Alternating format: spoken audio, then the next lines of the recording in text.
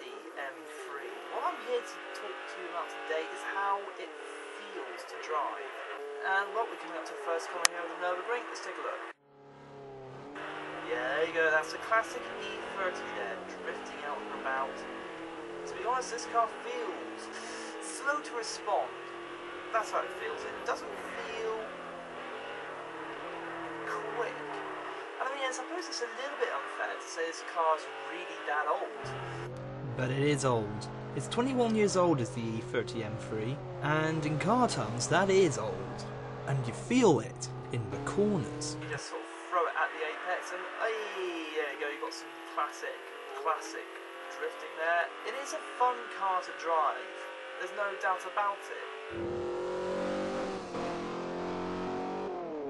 And to be honest, this thing feels raw.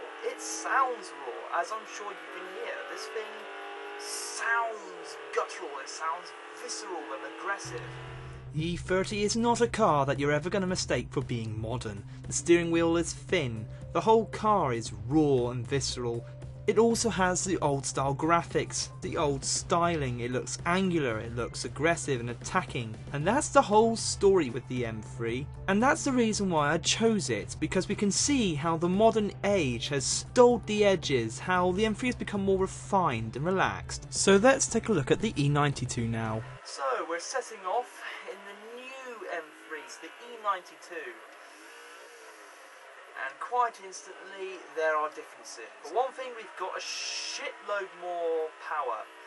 And that's already showing itself in the corners as the car is now just going very sideways.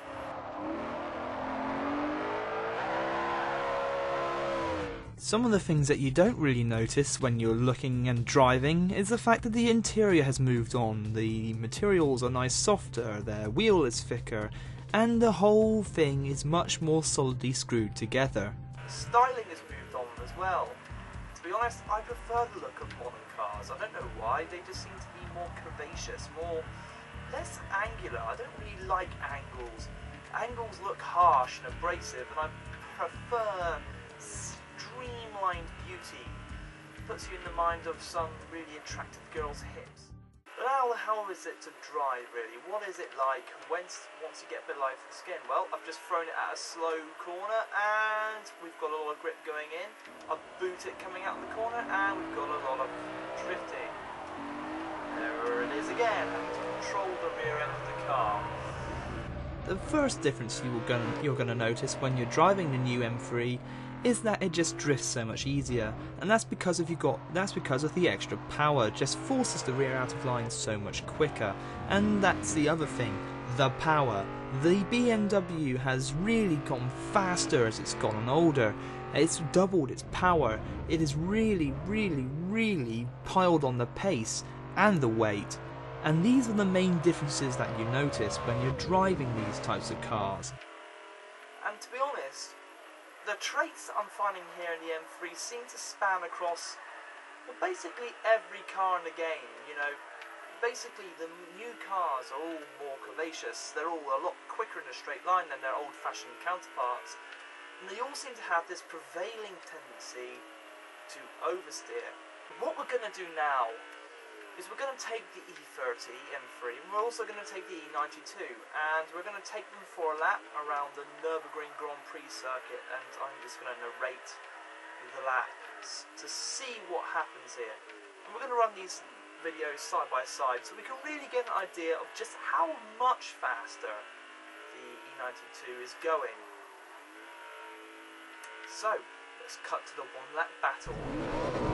And we are off, and here we go. Both cars struggling for traction off the line, but now the M3, the E92 has got some traction and it is heading along. You can already see it's well ahead as they go ahead under the Michelin belt board. But into the first corner, the M3 is already, the E92 is there. It has got apex and it is sliding on the way out. The E30 there, not quite sliding so much. In the second corner, the E92 going nice and smoothly through there, but the E30 losing traction in the middle of the corner. Not so well sorted, it would seem. E92 understeering. E30 seems to have apexed a little bit easier. Maybe it's maybe the light lightness of it is helping here. And the, but it's quite clear to see that the E92 is really starting to power ahead, getting further and further and further ahead. The power of the E92 really helping here. Not so much the grip, it doesn't appear to be going that much quicker in the corners, or making them seem any easier. However, now it seems well composed, very well composed through there from the E92. And the E30 also very well done, easing on the power a little bit earlier, I think. Both cars making a symphony of sound right now.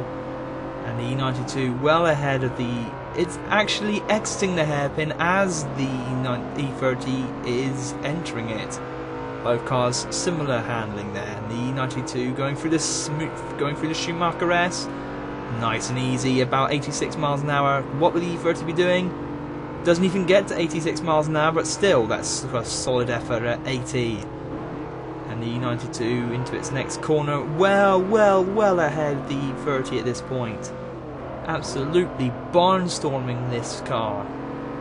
There you go, just now using its power advantage as the E30 is yet to take the next corner. Understeering offline, but then again, nothing too bad, rides the curbs a little bit and now the power game is very, very, very clear to see. Here comes another, here comes a fiddly little chicane. The E92 there, not struggling at all. Ooh, sliding on exit, sliding on exit. That is not bad. And it's into the final hairpin. The E30 now through the chicane.